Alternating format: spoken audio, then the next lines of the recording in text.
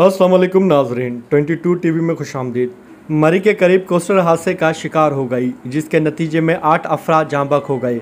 Risk ग्यारह बाईस के मुताबिक मरी के करीब गलियात रोड, खेरा गली के मुकाम पर वैन और कोस्टर को हादसा पेश आया, जिसके नतीजे में कोस्टर गेरी खाई में जा गिरी। रेस्क्यू हुकाम का बताना है कि ट्रैफ़िक हादसे की इतला मिलने पर रेस्क्यू एहलकारों ने जाए हादसा पर इमदादी सरगर्मियाँ शुरू कर दी और अब तक आठ अफराद की जहाँ होने की तस्दीक की गई है, जबकि मुतद अफराद जख्मी भी हैं। रेस्क्यू के मुताबिक जख्मियों को तहसील हेडकोार्टर अस्पताल मरी मुंतकिल किया गया है, जिनमें से बास की हालत तशवीशनाक है और हलाकत का खर्चा बढ़ गया है।